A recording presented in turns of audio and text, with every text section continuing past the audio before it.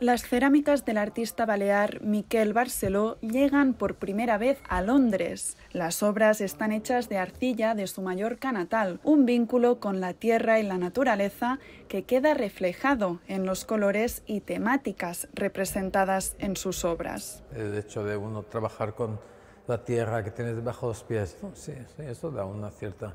También piensa que esta tierra se ha servido para fabricar los ladrillos con los que han construido las atrocidades que recubren todo el Mediterráneo. Es un poco lo mismo.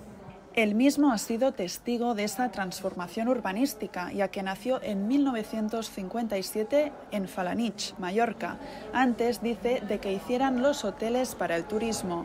Artista polifacético, Barceló ve la cerámica como otra forma más de pintar e incluso de hacer caricaturas de sus propios cuadros. Solo que han pasado por el horno y eso del fuego les da han sobrevivido al fuego de mil grados. Esto ya es, ya es una... han pasado este filtro del fuego. Se transforma y a veces mejora, ¿verdad? Los cuadros, no, no, si pasan por el fuego, ya no salen.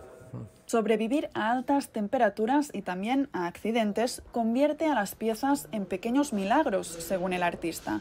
Se pueden ver grietas y formas irregulares, algunas en forma de plantas o incluso de bocas de pez. La exposición Ceramics se podrá ver hasta el próximo 5 de febrero.